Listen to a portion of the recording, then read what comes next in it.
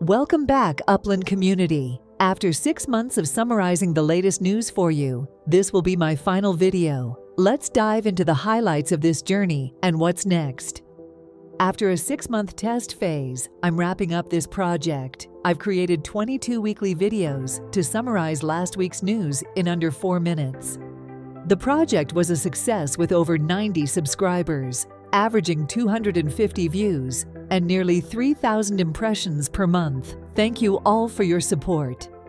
There were many highs and lows. It was enjoyable to dive into AI and technology, especially since I had never made videos before. Some people found it very practical, while others had mixed feelings. I've decided to take a break from making videos as I've lost the joy in it. I might start another project or collaborate with someone in the future. Thank you for being part of this journey. Your support has been amazing. While this is my last video for now, who knows what the future holds? Stay tuned and enjoy Genesis Week.